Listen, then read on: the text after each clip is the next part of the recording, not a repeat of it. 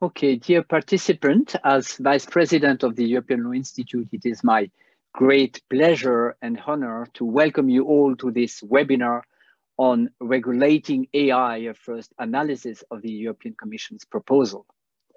You are over 200 participants that have registered for this online webinar, which probably underlines how important you weigh the EU proposal at hand.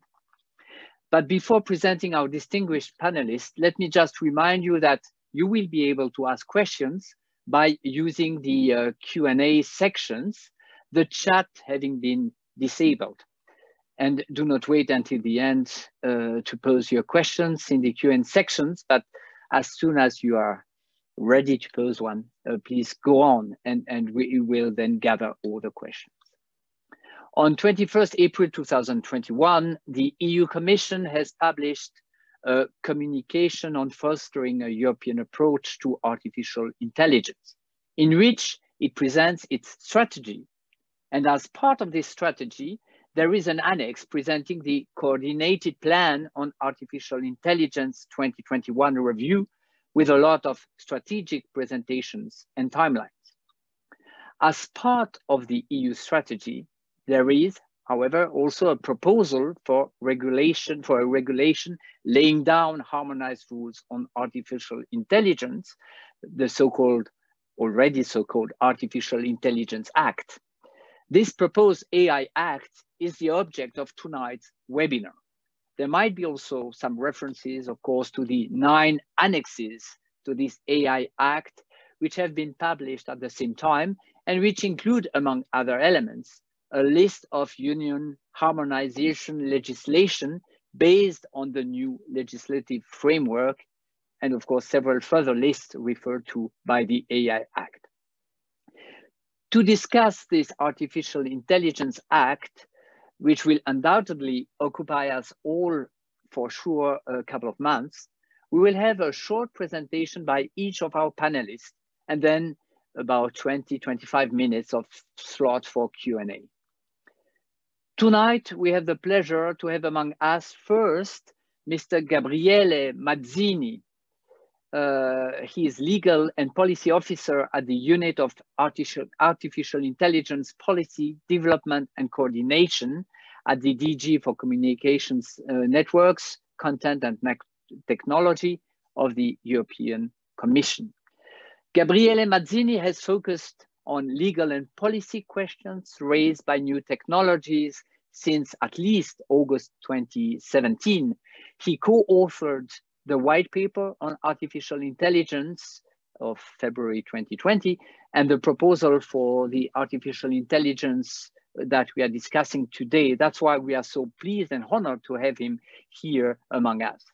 As EU official, he also served in the European Parliament Legal Services and at the Court of Justice between 21 and 23. Between 2010 and 2017, Gabriele Mazzini held several positions also in the private sector in New York. He holds an LLM from Harvard Law School, a PhD in Italian and comparative criminal law from the University of Pavia, and a law degree from the Catholic University of Milano, of Milan. Of course, today he's here as a member of this DG for Communication Networks, and uh, part of one of the drafter um, uh, of this uh, AI Act. Uh, Gabriele Mazzini will give us now a brief presentation of the European Commission's proposal, and I'm pleased to give him the floor. Thank you very much, Pascal, for the for the kind introduction, and uh, and it's my pleasure to be here with you and uh, and present our work on the proposal for um, the regulation. Um, so I've prepared uh, three slides. Uh, I'll try indeed to keep it short to the to the eight minutes, and uh, to present a couple of um, the key concepts and provisions uh, for the for the for the proposal. We can move to the next slide.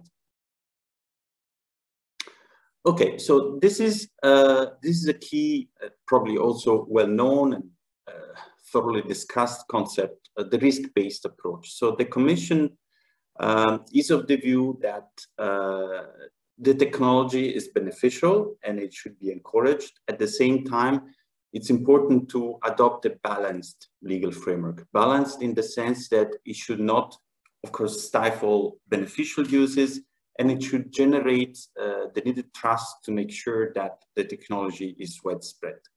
Risk-based approach also means that we're not dealing here with the regulation of the technology as such, but uh, of regulation of specific instances or use cases, as, as we call them, um, where we think that a certain regulatory intervention is needed.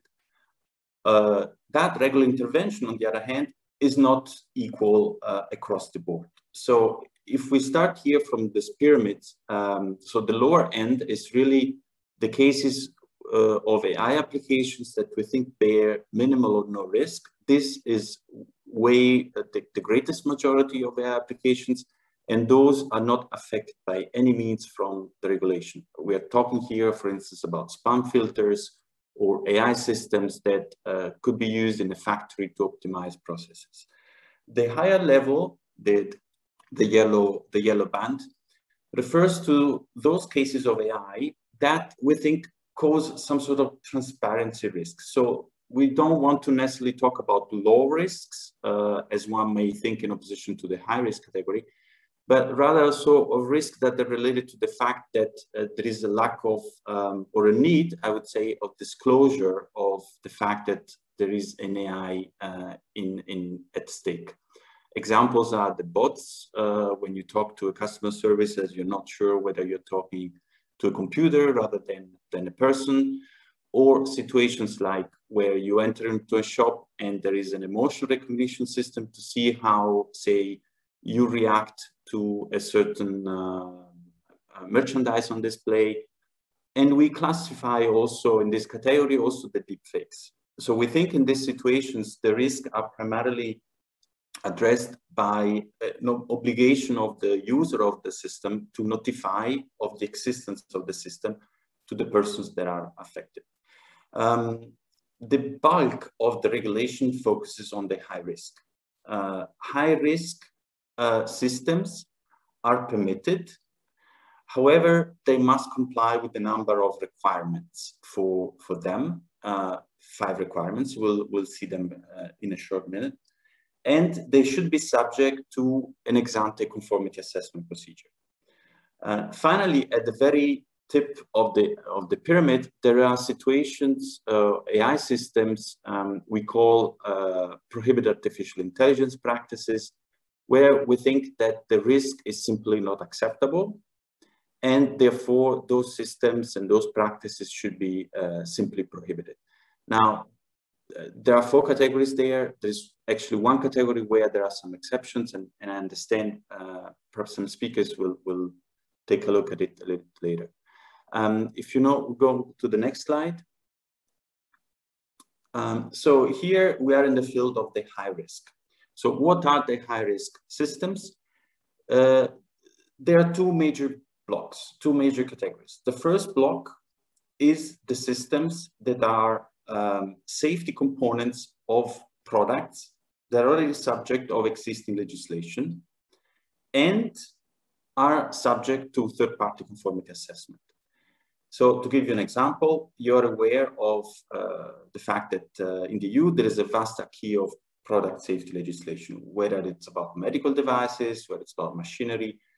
And we are talking here about actually those products that are subject to uh, so-called the new legislative framework uh, approach. We're not talking here about the old approach. For those, there is a separate conversation to be, to be, to be made.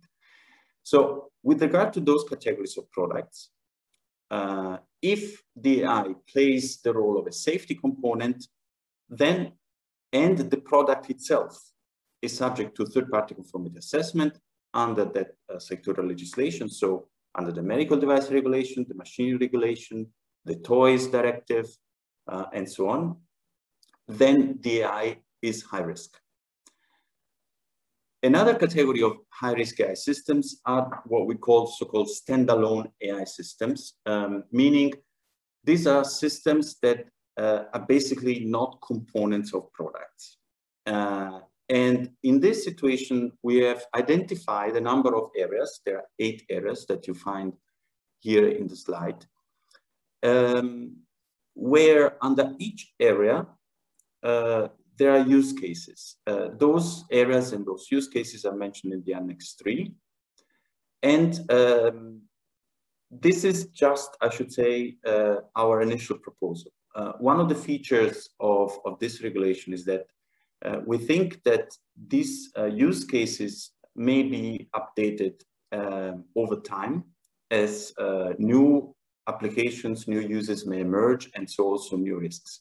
What cannot be updated are the areas. So the areas, the ones you see here, biometric identification and categorization, critical infrastructure, educational training, employment, and so on. These are areas that uh, we think should be decided by the legislator. But the um, use cases under each area may be, um, uh, there are, well, there are a number of use cases which proposed at the very beginning, but we think that the commission should be able to maintain the instrument flexible to add use cases as time goes by. Um, next slide.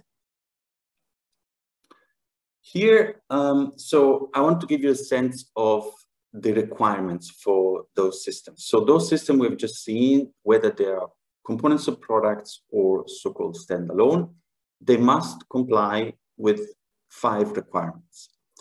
Um, those are requirements for the system per se. Um, here we are following, um, so essentially this regulation is a uh, NLF regulation, is a new legislative framework regulation in the sense that it has established a number of requirements. We don't call them essential requirements, which is the typical formulation of NLF, for instance, the Blue Guide. We call them simply requirements, but, but we are talking essentially about the same thing. So they are requirements for the system as such that the system needs to meet. And those requirements constitute sort of the objectives that the system, uh, the, the, system, the, the product needs to meet. But we don't want to enter into the specific technical solutions that the providers, the manufacturers of the high-risk AI systems need to uh, determine themselves and need to determine themselves uh, according to the NLF approach, which means um, there, there will be standards. They may also adopt uh, individual technical specifications, but in a way, one of the greatest, uh, we think, um, achievements of the NLF approach has been that of allowing that flexibility to manufacturers to indeed choose the technical means by which to comply with the requirements. These five requirements are those that were identified by the high-level expert group. So on the data set, high-quality data set, documentation of the system, transparency, human oversight, uh, robustness, accuracy, accuracy, and cybersecurity. And an important qualification about these five requirements is that they should be, uh, their compliance should be ensured by the provider according to a risk management system and in light of the intended purpose of the AI system. So that means that those requirements may be somewhat, I should say, articulated or slightly differentiated when, uh, and, and so they can be adapted to systems, which this is a horizontal regulation, but the systems, of course, may have different needs. So the way of compliance could slightly uh, vary to the extent that the systems may have different needs. Of course, if you're talking about a robotic application, is different from an assisted decision-making system and so on. But the requirements are those, uh, they just have to be complied with in accordance with um, the risk management system and in light of the intended purpose. I think I can stop it here and then we can uh, perhaps address questions later if that's uh, possible. Thank you very much. I hope it will be possible. Uh, thank you very much for this very clear presentation of the structure and the main feature. I have now the pleasure to give the floor to Professor Christiane Wendehorst. Uh, as you know, she's the president of the European Law Institute. She's professor at the University of Vienna, co-head of its Department of Innovation and Digitalization in Law. And from 2018 to 19, she co-chaired the Data Ethics Commission of the German federal government and is the head of the bioethics committee at the Austrian Federal Chancellery. She has published many books and articles and is one of the leading experts, I would say, in the field of data economy, digitalization, and the law. She's here today because she's one of the co-reporter, uh, no, uh, one of the, yeah, co-reporter or co-author of the uh, ELI response to the public consultation. And she will deal, as you can see from her slide already, on the second part of the ELI response to the public consultation. Uh, Christiane, you have the floor. Thank you. Well, thank you so much, Pascal, for the kind introduction. There's just one small correction I have to make. I'm just a very simple member of the Austrian Bioethics Committee. So, um, but thank you so much uh, for the kind introduction indeed. Um, as Pascal already said, um, I will uh, give a very brief and preliminary analysis of the draft against the background of the ELI's response to the public consultation. That response was also jointly by the reporters of the ELI project on artificial intelligence in administration and the European reporter of the ALI ELI uh, project on principles for a data economy. And so one of the uh, major points and uh, one of the focuses of our response was that we kind of um, pleaded for uh, a solution that would square the circle of a high level of protection that avoids too much red tape. So that was uh, one of our major points we made. And as Gabriele has already described, we believe that with the risk-based approach, with the draft and regulation has now taken, um, this is a, very well uh, uh, achieved. And so this risk-based approach, in our view, is uh, something that is very positive. And Gabriele has already described the details in much nicer colors and colors that are much closer indeed um, to what the German Data Ethics Commission had initially proposed. These colors, which you find on my slide, are still the colors I copied from the Commission website. So by and large, I think that risk-based approach is very positive. Of course, as is uh, the case uh, so often, the details still require discussion. For example, we see that emotion recognition systems as such are only subject to a transparency obligation. They're only qualified as high-risk applications when used by, for example, law enforcement authorities or migration authorities, that is certainly something one could debate, but by and large, uh, uh, this risk-based approach is extremely welcome, I believe. Our response also stressed the need to link this new AI regime and the safety risk dimension of AI to existing product safety legislation. When we look more closely at the risks posed by AI, we see that there are like two types of risks. The one risks, uh, the one type of risks uh, which the uh, proposal calls safety risks, we call them physical risks, but we basically mean the same. That is death, personal injury, damage to property, uh, and so on, caused by unsafe products and activities involving AI. And the other type of risk that is posed by AI is what the proposal calls fundamental rights risks, and we call social risks, which is discrimination, manipulation, exploitation, loss of control, and other um, uh, uh, phenomena caused by inappropriate decisions and exercise of power based on AI. Now, the one type would more be caused by autonomous vehicles, robots, the other type would more be caused by recruitment software and similar applications. And we stress the need to align this with the digital fitness check of existing safety legislation. Now we see here that the draft regulation overall takes a product safety approach for AI irrespective of whether the AI is embedded or non-embedded, or also when it comes uh, within a software as a service. We believe this is, or I believe it is, this is uh, absolutely the right approach. It's so important uh, to integrate this uh, AI uh, regime into the existing product safety legislation and to take that safety approach and not, for example, a services approach.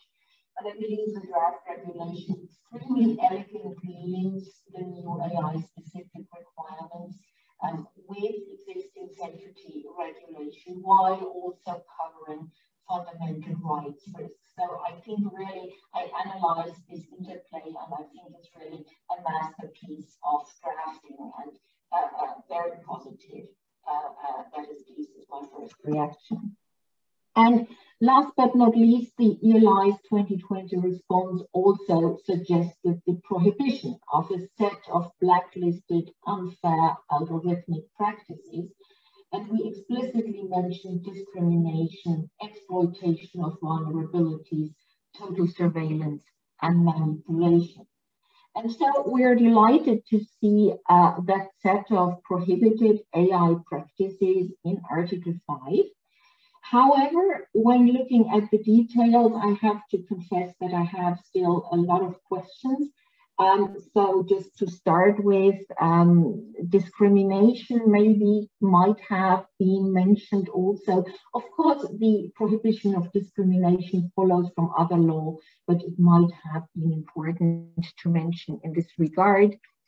And then there is a number of restrictions which one could um, discuss. So for example, when it comes to manipulation, um, why is that restricted to physical or psychological harm? What about uh, detrimental economic decisions? What about voting behavior?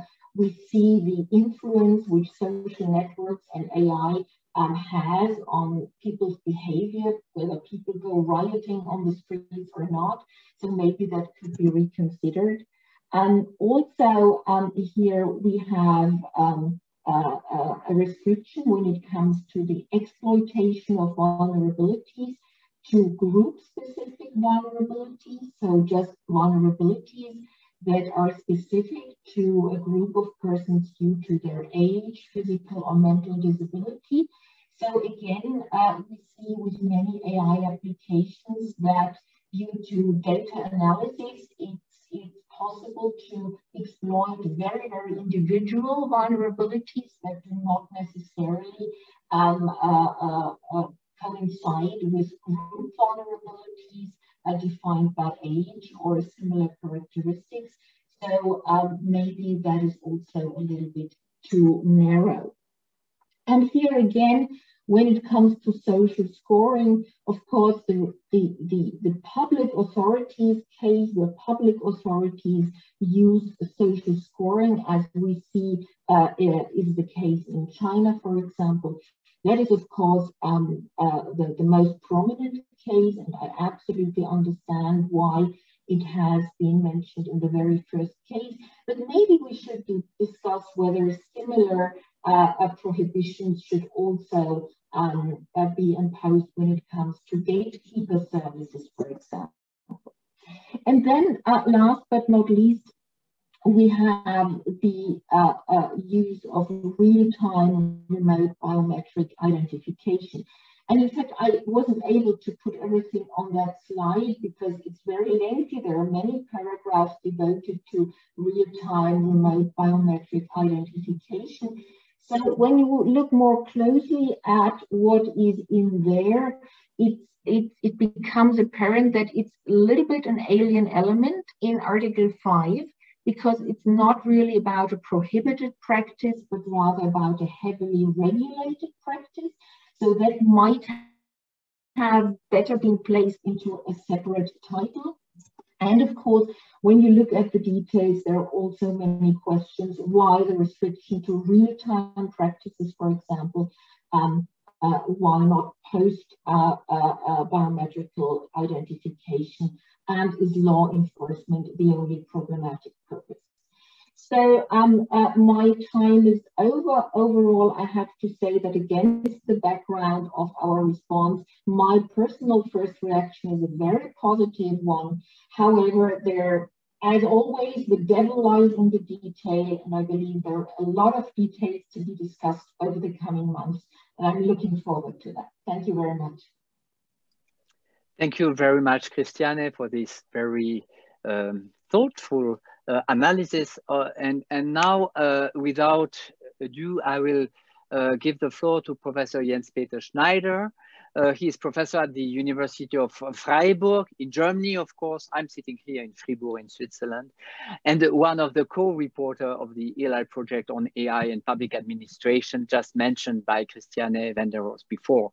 He is professor for public law and European administrative information and infrastructure law at the Institute of Media and Information Law. He has been visiting professor in several universities, including Columbia Law School and Sao Paulo. He's the author of many books and articles and is involved in many projects on energy law and digital application in administration.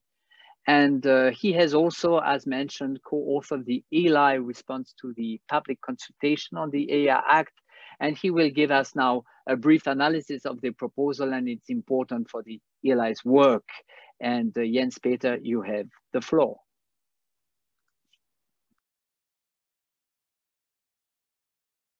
You're still muted. Yeah. Thank you very much, uh, Pascal, for your very kind uh, introduction. Ladies and gentlemen, my presentation will investigate three questions which you can read on your screen.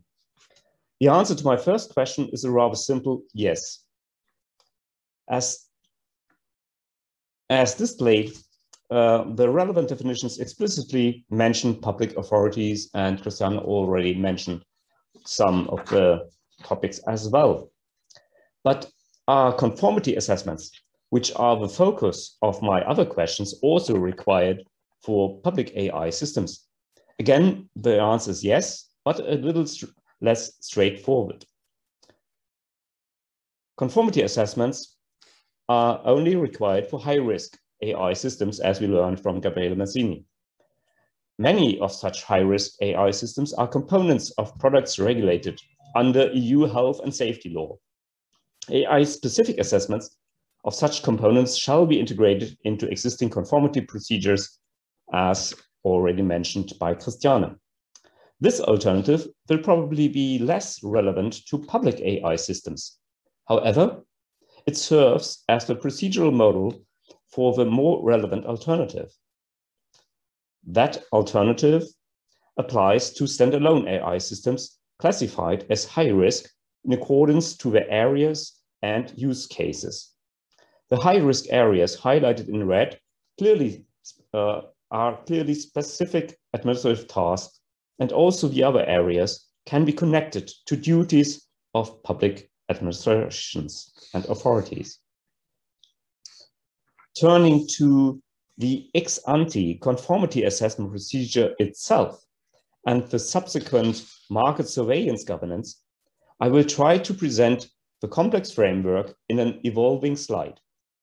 I start with the internal conformity assessment, which serves as the standard procedure because it applies to the majority of high-risk areas under Annex 3. It is called internal as it is only implemented by the AI systems provider himself or in certain exceptional cases by its user. The assessment has two major components. The first one is a quality management system, which comprises several features. The most important features are separate systems for risk analysis and management, as well as for establishing post-market monitoring.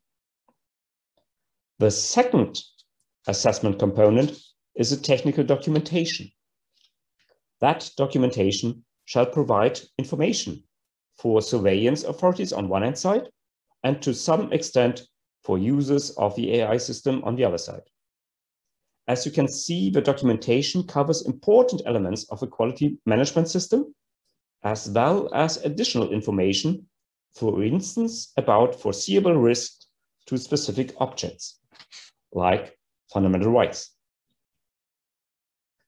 concerning the ex post surveillance system of the AI system, the starting point are duties mainly to offer providers to regularly update their risk analysis and to adapt risk management measures based on the monitoring of a deployed AI system. If an operator identifies in the post-market monitoring a serious incident or any malfunctioning of an AI system relevant to the protection of fundamental rights, they have to inform the respective national market surveillance authority. And that authority is then in charge to take enforcement measures. However, such malfunctioning may also fall under the jurisdiction of other sector-specific national authorities. If an AI system is used by the Commission or an EU agency, the European Data Protection Supervisor is assigned as the component, uh, competent market surveillance authority. In order to guarantee uniform application of a draft regulation, the national market surveillance authorities, as well as the EDPS, shall be, new, shall be members of a new European AI board. This board exhibits features similar to, similar to EU agencies in the field of data protection or telecom regulation, or like the European Board for Digital Services under the proposed Digital Services Act. The final component of a proposed AI governance structure is the Commission itself. Besides various powers for concretizing the general legal obligations, the Commission has the, AI, the final word in any conflict among the various administrative bodies mentioned before, in a so-called safeguard procedure. In addition, the draft regulation provides for a more demanding external assessment, um, but only in case of AI systems for biometric identification of natural persons. In this variant, the internal assessment by the provider is independently assessed by notified bodies. These notified bodies are private entities who are designated by the natural a national supervisory authority acting as notifying authority. As already mentioned, the European AI Board mirrors other EU agencies. It's not noteworthy that some of these, like especially the existing EU Data Protection Board or the proposed EU Board for Digital Services, may also have sector-specific responsibilities for AI systems. Thus, similar overlapping responsibilities may arise as mentioned at the national level. Consequently, cross-sectorial coordination will be a major challenge on both levels of the European admi administrative space. From my very first analysis, I have the impression, not a final word, that the draft AI regulation as well as the draft Digital Services Act, address these challenges only to a limited extent and mainly at national level. Another open question which needs further elaboration is the question whether the proposed conformity assessment framework, which mirrors product safety governance structures, is fully appropriate for AI systems deployed by public authorities, which is different to private AI usage. At the moment, the draft regulation provides for a publicly accessible EU database with some basic information about such AI systems. This is a very good starting point, but the rule of law, as well as the democratic legitimization of public administration may require additional safeguards for independent expertise and public participation. This might be even more important as public authorities have a significantly stricter obligation compared to private AI users to minimize any risk which is addressed in various rules uh, of the draft regulation. Thank you very much for your attention. Thank you very much, Jens Peter uh, Schneider, for this uh, very interesting and challenging also presentation of uh, the very complex aspect of uh, assessment and, and surveillance and post-surveillance, and also the uh, uh, different perspective that will certainly trigger a lot of questions also in practice later on. I have now the pleasure to give the floor to Marc Clément, he's a presiding judge at the Administrative Court of Lyon in France, and he's a, also co-reporter of the ELI project on AI and public administration with Jens Peter Schneider. He is also co-author of the response to the ELI uh, to response to the public consultation, and he will deal with the link between the ELI project and uh, the AI Act proposal. And I'm sure he will add a, a, another, yet another layer on this uh, difficult but important understanding of this proposal. Marc uh, Clément, you have the floor. Thanks a lot, uh, Pascal. I'm um, very uh, happy to, to be here to discuss this very um, new proposal and um, in a very complex field. And um, this is uh, for sure a very complex uh, text. And um, it's difficult to address everything um, in um, in uh, such a limited uh, time. But um, I, I am trying to to to share some questions uh, with you, which I think are important.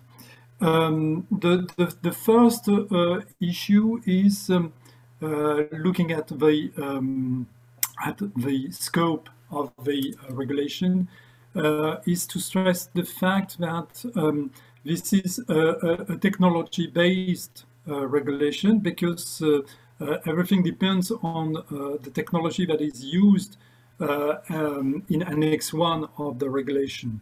And um, this, this means that you have a very clear list of techniques um, that are uh, supposed to cover um, AI issues. Um, however, I'd like to, to stress the fact that, um, specifically in the domain of public administration, uh, we have uh, seen uh, many um, tools that are used um, and that are uh, tools uh, like automated decision-making tools that are not necessarily uh, linked or using these techniques. I just give an, a well-known um, case in France because it took uh, because it has um, raised quite uh, quite a lot of public debate and um, and many uh, many discussions on that. this is a tool, Parcoursup, that was used for the um, allocation of places in universities for students. Uh, if you look at the tool uh, itself, this is um, something that is used uh, for uh, high school uh, students and uh, the, the, the, the, steps to the university. And if you look at the, the, the, techniques used, it's probably not covered by um, Annex 1. Uh, in this uh, context because we, these are not statistical tools, not necessarily uh, knowledge-based tools, and not um, deep learning or neural nets um, approaches. Uh, so uh, the, the, the, question is, um, would the uh, scope based on the knowledge-based um, approach be, um, be enough? This is the first, first question. Uh, and as um, Jens Peter uh, said, uh, in public administration and public law, the administration has specific specific rules to follow, and the issues are probably a bit more constrained in terms of legal and legality and in, in terms of um, uh, in terms of rules to be uh, followed by administration than in, uh, in the private sector. This is one first issue. Second issue, um, the added value of public participation. Uh, we believe in um, in the work we do with ELI in, in the domain of um, AI and public administration that public participation is probably um, something uh, good in the context of um, of using um, public um, using AI uh, tools or automated decision systems in the context of public administration. Uh, first of all, what we can see is that uh, many of the uh, AI systems are operated by uh, potential high-risk uh, AI systems are operated by public bodies uh, potentially. And uh, in this context, um, the, the, the, the, first added value of public participation is to avoid to avoid misunderstandings and to start a real and genuine process of transparency before putting the system into service, having the, the, the, the possibility, uh, open the possibility for citizens to, uh, to have their say on the use of, of the tool. One thing. And uh, the other uh, added value of public debate is um, um, a dimension of, um, of democracy and the possibility to uh, for citizens to understand what the administration is doing. And I think it's in the context of um, uh, better administration, in the context of um, uh, uh challenging uh, issues for administrations, I think this transparency and public debate part is probably um, a very important um, aspect of, of, of, the things, specifically in the domain of the new technologies. Um, we've seen that, uh, for instance, being in the context of uh, use of uh, GMOs, uh, public debates were also very strong. Uh, when, it, when new technologies and uh, not necessarily AI are developed, I think public debates are quite important. So that's the second point I wanted to make third point, um, for uh, public law uh, lawyers, uh, it's it's a it's a bit challenging to enter in the in the views of um, internal market issues and um, uh, in the uh, and applying it to uh, public administrations. It's probably also more difficult if you're French with the tradition of public law in in France. But um, uh, but a few questions. Public bodies will be uh, potentially providers and users. Uh, and in, in many aspects, when developing AI systems, they will be both. They, they will be the provider, the one designing the system, not necessarily implementing it, but designing it, and also the user um, uh, being the administration using the tools. Suppose, for instance, you, you have a tool for uh, checking um, tax uh, declarations uh, in uh, tax administrations. Uh, this tool could very well be based on deep learning and, um, and automatic assessments. this tool will be developed possibly by uh, third parties, but will be designed by the uh, administration and um, and uh, used by the administration itself. The the issue of the conformity assessment um, is is crucial in this context, and I think that uh, the, the, the, the, point is that the uh, the crucial aspect of it is less the technique that is involved rather than the way it is developed and implemented uh, by the administration as a user, as a user for serving citizens. So I, I see also a, a, a, field where we, we need to have some reflection on, uh, on that.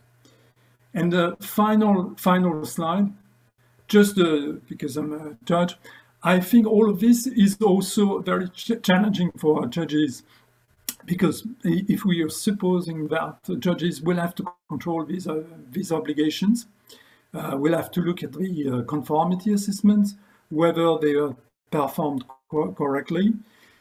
Uh, there is a, a, a, very strong um, issue uh, of, um, of capacity of judges of, ta of tackling uh, the, these issues, and also the need to go beyond um, uh, the level, levels of control that are not enough, such as um, manifest error of appreciation or Wednesbury test in, in the context of common law. Uh, tackling complexity and technical uh, knowledge gap for judges is absolutely crucial in this context. And I, I just want, would like to finish with the quote of um, uh, Judge, of, uh, Judge Cranston in the, in the Foster case in the UK. Judges may be clever, but not that clever. That was, that was said in the context of environmental law and uh, the complexity of the law and the complexity of the technique. Thank you very much. Thank you very much, Marc Clément, for these insightful uh, uh, aspects. And, and I'm sure that uh, among clever judges, you are certainly a very clever judge. Um, uh, but the problem remains, of course. Uh, I have now the pleasure to give the floor to Professor Susana Navas Navarro, she is full professor for private law and head of the Department of Private Law at the Autonomous University of Barcelona. In recent years, she de uh, has devoted herself to the study of the so-called digital law, in particular the interplay between artificial intelligence and private law.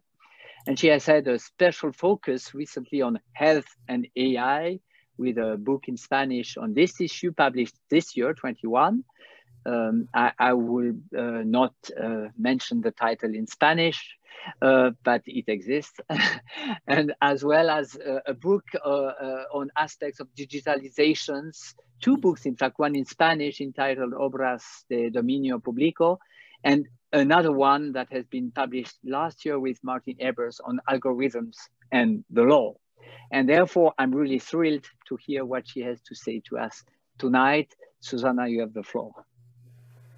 Thank you very much for having me. I would like to start my, my statement highlighting that data is essential for innovation, especially for those artificial intelligence uh, systems uh, which make use of techniques and approaches involving machine learning, as referred to in Article 3 of this proposal, in order to obtain innovative and also disruptive output, high quality data sets are important, which implies that they are of high value. In addition, as stated by the proposal, the existence of high quality data sets for training, validating, and testing systems is essential to avoid or at least to reduce the existence of discriminatory biases. It is worth to note that in order to get high value and high quality data sets, it is necessary to have access to a huge amount of data. Data should be as varied as possible. Variety is a key element in this field. The greater the volume of data company has access to, the more accurate its predictions and correlations will be. And the greater its ability to training the system in order to fit its objective. However, in Europe, companies cope with a, a, scarcity of data. Therefore, the EU aims to facilitate the change of data with, between European companies so that they can innovate and be in a better position to compete with the United States, South Korea, China, uh, Israel, or Japan. Hence the interest shown by the EU in achieving a free flow of data in the internal market. In this regard, relevant milestones are both the Open Data Directive uh, and the proposal for a European governance, governance data which concern public information. The impression that data flows in the digital uh, market is actually wrong, since, since most of the information is controlled by persons or companies, which either de facto or de jure decide what to do with uh, that information, who can have access to it and under which conditions. Insofar they decide to share it, which is less than obvious. Put simply, high value information remains outside the free flow of data that Europe intends to seek. Generally speaking, there are three uh, types of information. The first one concerns undisclosed information generated by a company or by the company's users or by its products. And this information can be protected using technological measures. It could uh, also be protected by copyright or trade secret law. Uh, moreover, some of this information might be of a personal nature and be protected by the corresponding legislation. Secondly, information protected by copyright or related rights. Regarding this kind of information, the new directive on copyright and related rights in the digital single market has settled for an exception to the holder rights for text and data mining made by research organizations and cultural heritage institutions, as long as there is a non-commercial purpose. Even in this case, rights holders are allowed to implement security measures. Nevertheless, those who invest and innovate in artificial intelligence are um, essentially private uh, businesses. Many of them are startups and small and medium-sized enterprises.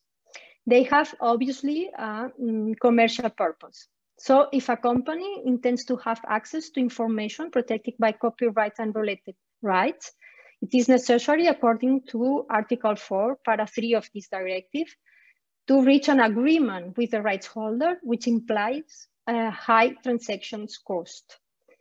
Rather, mm, also, rather than stimulating uh, investment in high technology, actually this rule discourages it.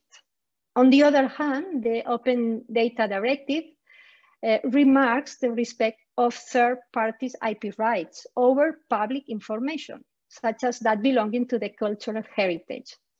And concerning research data as public information, openness depends on the fact that the organizations decide to make them publicly available through repositories. And the third category of information is information available on internet and which is not protected by copyright law.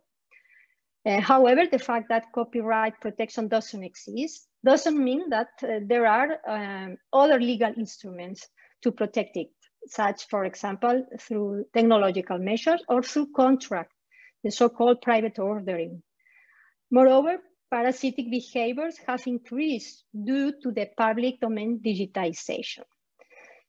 In short, the European trend to create new um, intellectual property rights and the interpretation made by the Court of Justice of the European Union in order to protect as many works and as much information as possible means that most of these uh, works and information uh, that flows on internet is protected, preventing that companies and startups have access to valuable data. So European companies face more obstacles than their foreign competitors if they intend to innovate based on machine learning.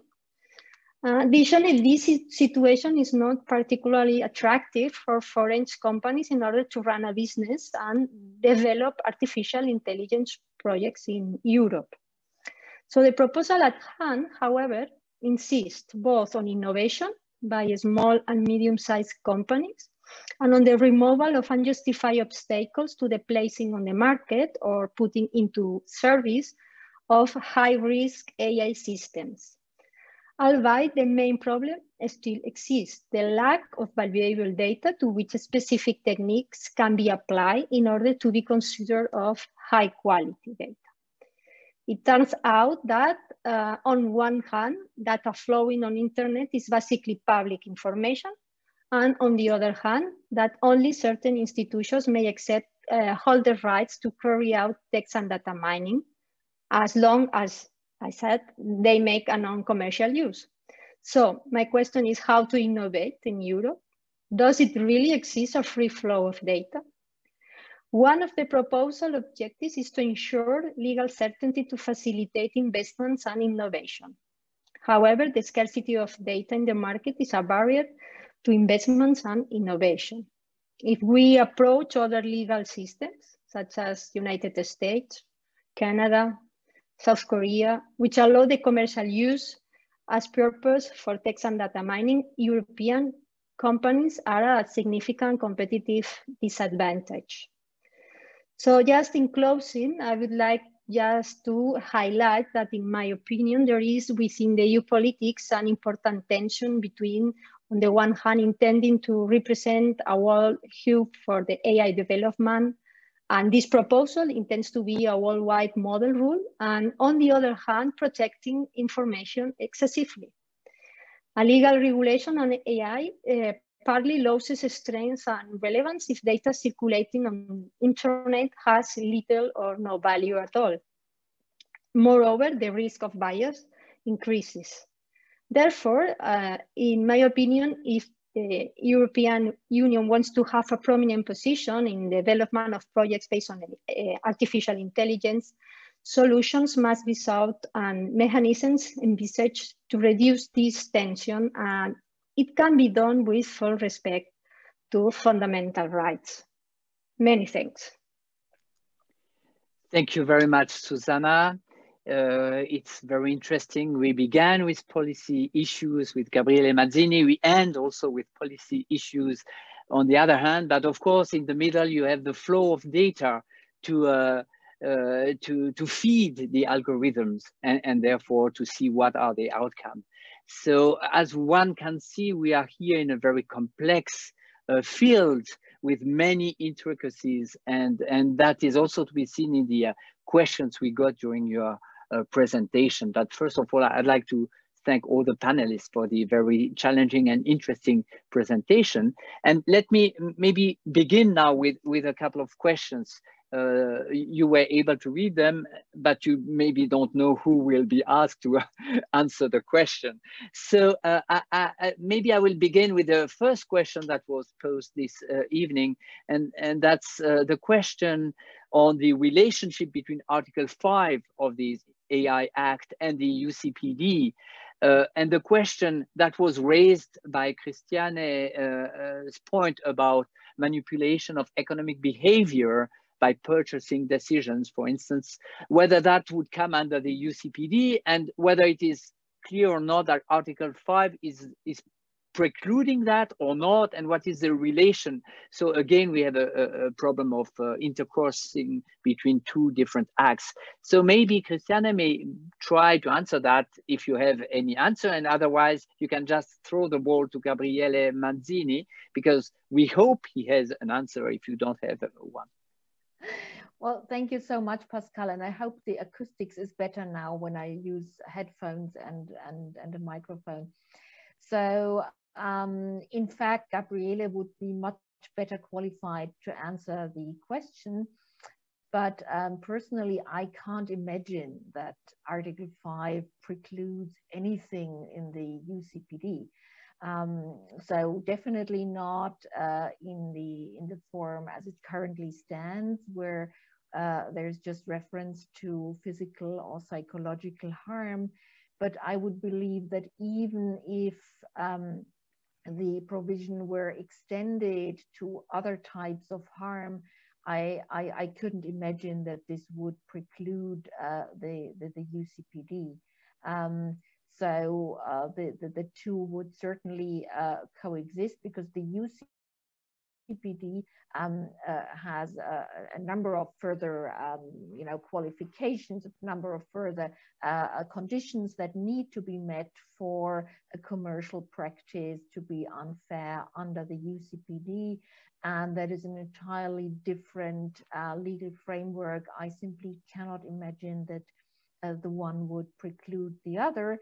But of course, Gabriele knows, is the only one on this panel who really knows what uh, the commission had in mind.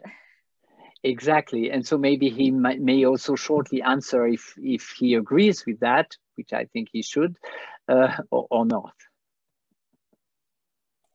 It sounds like I don't have a lot of uh, option, but uh, no, certainly. Well, I, may, I may know a little bit more about Article 5, but I certainly don't know as well UCPD as Christiane or any other panelist here. But essentially, the thinking behind the Article 5 is indeed to craft those provisions as narrowly as possible. And for a number of reasons. Um, first of all, indeed, there are other provisions in EU law which could apply. I mean, UCPD is an example. Could be interpreted also depending on how it's interpreted. It could fit certain situations.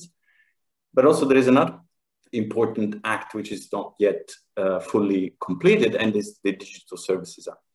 So the Digital Services Act is already out there.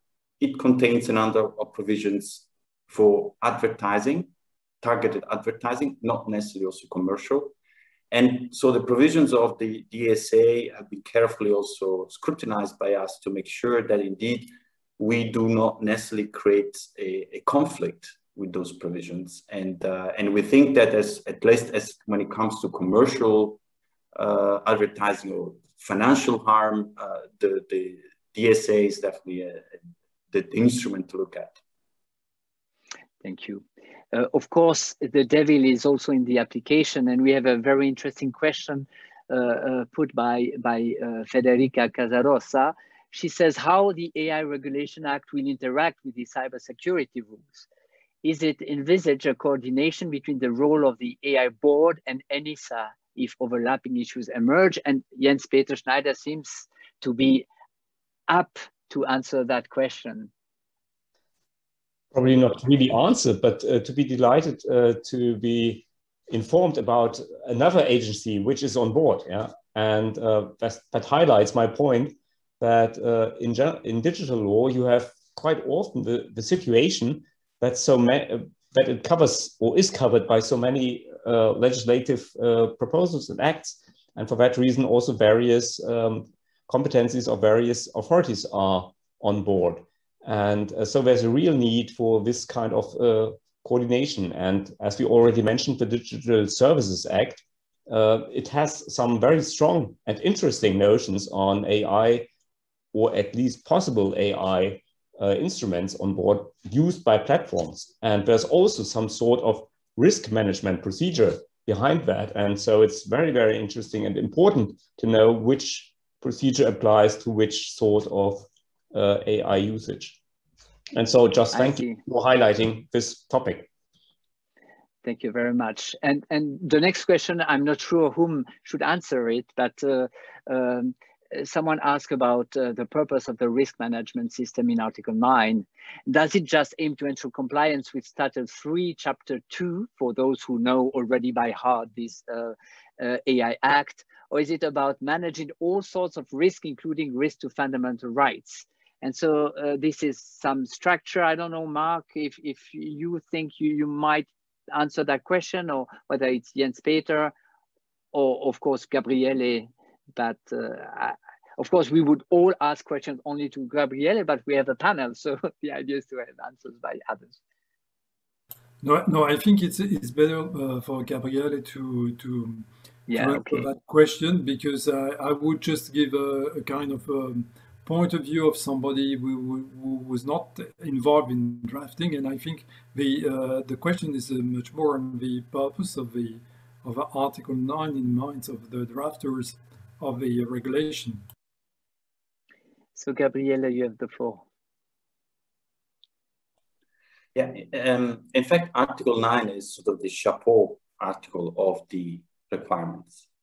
And so it's indeed the article through which the the requirements need to be read. And in fact, this concept of risk management system is something that uh, is fairly common in product safety legislation. And it's really sort of an obligation for, for the provider to, to really assess when he develops a certain product, to assess all the risks that its products can um, produce, and then uh, make sure that he follows you know, stepwise approach in terms of managing managing that risk uh, and identifying so risk management measures. So yes, uh, the purpose of that risk management system is to ensure compliance of the product with the requirements. And the risks are potentially all those risks that could be sort of uh, that are covered by the legal act, so both for safety and, and fundamental rights, so social risk and uh, safety risk, as uh, Christiane was mentioning before. Thank you. But since you have the mic, maybe you should keep it because I, I would like to hear you on the issue of uh, free flow of data and, and the impact and the interface with, with the AI Act, because we have two questions about the free flow of data. And of course, Susana Navas came with that important point and the interaction between IP, free flow of data, and, and the uh, private governance of, of data through contracts. And, and so how do you uh, how do you respond to that issue and saying, okay, on the one hand, uh, the commission wants to enhance the competitiveness, but on the other, there's no free flow of data and, and maybe the AI uh, assessment here, AI Act might not get to the point uh, it wants to get to. Yeah, I, I, uh, sorry. yeah, yeah. Okay, I Susana, you have... wanted to. Okay, good. Go go ahead. No, sorry, sorry. no, no, sorry. go ahead. I have, That's fine. I have envisaged some solutions, maybe, and okay. uh, a compulsory. A compulsory license, for instance, in favor to the private sector uh, for carrying out text and data mining for commercial purpose. Uh, however, the uh, right holders um, should be compensated with a remuneration this is a, a, mechanism that is used in copyright law, for instance, would be also a good uh, solution. Also data pooling arrangements to um, simplify the license transactions. And third, uh, data sharing intermediaries uh, in the line with the proposals of the um, uh, stated in the open, mm, in the Data Governance Act. And mm, I would like also can imagine the creation of sectorial data spaces like the uh, European health data space. And this is also proposed in the proposal that we have, uh, this, we discussed now. Thank you. And thank you very much because these are important proposals and would they fit with the AI Act, Gabriele? Mm -hmm. uh, yeah, indeed. I think Susana said it, said it very well. I mean, the AI Act is um, a, a, product legislation. So inevitably, we, we, we are sort of putting together legislation to, to address certain risks. So that is the rationale. There are certain provisions also where we clearly want to encourage a more supportive environment for businesses. And you know, you, you may have noticed the chapter on support for uh, innovation, so the regulatory sandboxes, which are actually a novelty in, in EU law, and uh, including also the, the provision providing legal basis for the further processing of personal data. So we think there are some elements that would, would certainly spur and support innovation. We are quite proud actually of that chapter. Um, at the same time, we have to acknowledge that uh, there are other acts like the DGA, which is mostly focused on really on, on facilitating that free flow of data and facilitating the, the sort of the raw material for AI to be developed. In addition to that, then there are of course a number of supporting measures which are part of the coordinated plan, which was adopted by the Commission together with the AI proposal, and of course, is everything that is not necessarily regulatory or normative in a strict sense, but more indeed in terms of supporting measures to, to, to facilitate the uptake and the development of the system, including uh, data spaces. Thank you very much. Uh, and, and of course, some of the proposal uh, just mentioned by Susana are also part of the uh, ALI, ELI model rule project where uh, there, there's a kind of framework to try to implement this uh, this uh, pooling system and also the free flow. Christiane, would you agree with that? Would that help? Yes, I definitely think that all the um, tools that have been mentioned are uh, important building blocks in an innovation friendly environment that um, enables the, the, the, use of data. And um, it's it's exactly uh, and in particular those data sharing services those data intermediaries that i think could be the key to uh, solving many problems which we're seeing at the moment. And also this kind of tension which we always have between the need for a high level of protection on the one hand and uh, the availability of data on the other Thank you very much. We have also in the chat, uh, uh I mean in the Q&R, uh, a lot of questions uh, dealing more with issues about the relation between data, ownership of data, and whether an algorithm owns the data or whether the person behind owns it. That goes probably a bit beyond what we have presented today. But there was a kind of simple, I mean, two, I still have at least time for two questions. One simple question, which might not be so simple, but is the link between the risk-based approach and the liability uh, uh, uh, regime and whether they fit together or, or, whether the EU is really going to uh, enlarge the liability regime in, in light of the AI Act, because as Gabriele has shown uh, in the various stages, uh, uh, you may have some of these algorithms that fall under the product liability regime, but some probably do not, at least not as it stands now. So what is the, the uh, interface between both? Uh, do you want to say something about that, Gabriele? Perhaps very brief, and then I'll use the opportunity to to to perhaps launch the ball back to Christiane on this.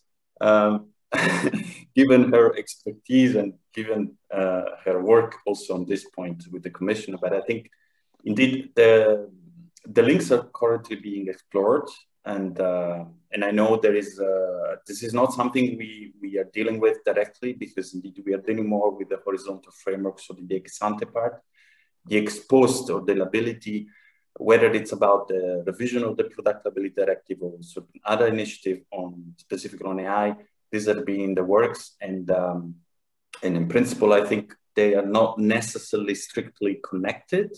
Uh, that is also why the Commission has decided to to go forward first with this proposal and uh, and let the second the liability parts to be being uh, in the works later. Okay, thank you very much. Uh, Christiane, do you want to add something on that? Since I gave the floor to Gabriele after you spoke, so now you have the right to reply. Well, I mean, in the documents that were published on the 21st of April, there's an announcement that we will see uh, draft proposals on liability issues in the last quarter of 2021 and the first quarter of 2022 and or. Um, so we're really looking forward to that. As we all know, there's been extensive preparatory work. We've had an expert group on liability and new technologies. We've had a, a commission report um, we've had a European Parliament proposal for a full-fledged regulation, which also takes that risk-based approach, uh, suggesting um, strict liability for uh, a defined number of high-risk AI applications and enhanced tort liability for all other applications. So um, it's it, it's really fascinating times for everyone um, who works on liability law, but we, we don't really know what, is going to be published ultimately at the end of this year or early next year but we are very thrilled about it, I'm sure. Uh, uh, and of course, when we speak about liability, we can also speak about criminal law. And, and there's a probably interesting question posed by Lorena Bergmeier Winter, but I must apologize. I'm not sure I understand enough of criminal law to be uh, able to understand it. But uh, uh, this is a very technical uh, question. So probably I, I, would suggest that Gabriele takes time after the webinar to, to answer Lorena, unless you have a straightforward uh, answer to, to that uh, interesting question about competence of fixing fines penalties provided under Article 71 when it states uh, who infringes the regulation and also uh, the role of the EPPO, which I don't know what it is, I must acknowledge. But Gabriele, do, do you see the question? Yeah, uh, I think indeed it's a, it's a complex uh, question. Um, I think the EPPO is the European Public Prosecutor's Office. Um, European um, when the state itself will infringe the regulation. Um, that is indeed a, a, really good question. I think we'll, we'll need to check back on that. Yeah, uh, thank you very much. And the last question is for Marc Clément because uh, he said that, uh, you know, judges are not as clever as they, they should be or might be or whatever. And there's a question about the ju jurisdiction on AI usage and whether we need an upgrading judi judicial bodies with IT expert or specialist specialized chambers. And maybe we could end with that question uh, this webinar. So may, maybe Marc Clément you, you, may answer that question whether you think we should have an upgraded judicial body. Uh, not necessarily. I think that um, uh, the uh, technical issues are uh, already uh, uh, very important in many domains of law. what is true is that the fact that you have um, technical documentation, technical assessments, and the capacity of, um, of having these documents available and experts uh, being able to look at them is a positive step because then, then uh, you have the possibility for uh, citizens possibly to, to challenge some uh, usage of, the, of these techniques because they, uh, they can rely on some transparency uh, on the side of the uh, developers of the systems. But I, I, I really think that um, although specialized judges or experts um, uh, are not necessarily uh, needed as a specific body for judging these cases. I, I think that's something uh, judges have to take now into account and to, to avoid what I presented, um, to refrain from uh, entering into the details. If we want uh, a very correct implementation of all these things, we cannot just um, have um, judges refraining to uh, analyze in, in details what has been done. So uh, this is a this is a question I, I think this is, which is very similar to what is also uh, currently discussed in environmental law, uh, mm. where we have specialized body or the question whether uh, specialized bodies are needed or not. I'm not necessarily in favor of that. Okay, thank you very much. Thank you very much also to all participants. We have come to the end of the time allocated for this first webinar. And I, I have to uh, uh, make a couple of uh, thanks. First to the ELI Secretariat, because uh, uh, can you imagine one week after publication of these very important documents and many, many hundreds of pages, we were able to organize and set this a very interesting webinar. At least that's what I, I think after having listened to all the panelists and also all the questions.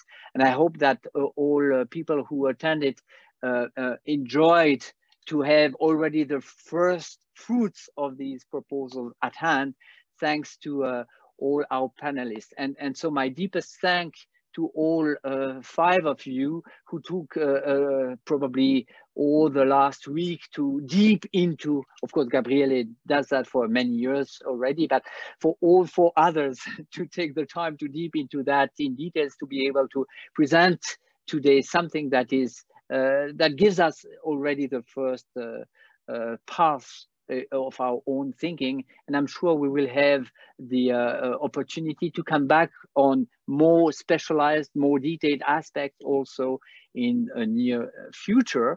So in the name of all panelists, in the name of the European Law Institute, of course, I want to, to thank also all uh, attendees for being present and now, and, and of course, the panelists for all their great work uh, tonight. Thank you very much. Say stay uh, uh stay safe stay safe and and uh, uh, come back for our next webinar in a couple of weeks. Thank you very much. Bye bye